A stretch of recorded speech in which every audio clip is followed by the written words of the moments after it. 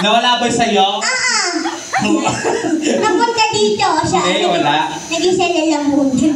Babae po yan, akala niyo pong bakla. Yes. Dito. No, lahat na, package niya na. Grabe ka. Wala na pa. Ay! Sorry, sorry, sorry, sorry. Na. Ay, sorry, sorry. Ano pa? Sige. Standby lang dito sa table. Kala niyo hindi namin kaya yun, ah. Kaya nga. Hmm. Tapos na po yung kanta. Linulok mo lahat, talaga? Sino lulunok? Oo, nilunok, nilunok, nilunok kong lahat. Sino lulunok? Ikaw, lulunokin ka nila. Ah, Ay! ano yan? Oh, para sa akin, paano sa kanya? Oo nga. Ayan! Ayan Oh. Wow! na. 50-50. Totoo? Totoo ba talaga? Nag-50 tayo. Bumili Tag-50? daw tayong korneto. Ako!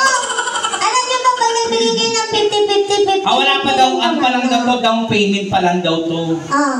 50-50 O, ano pa, ano pa? Linunok ko lahat. O, yun daw, kantayin mo daw yun. Yeah.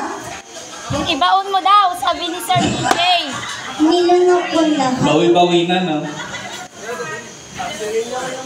O, inan ni Kwan daw, pizza.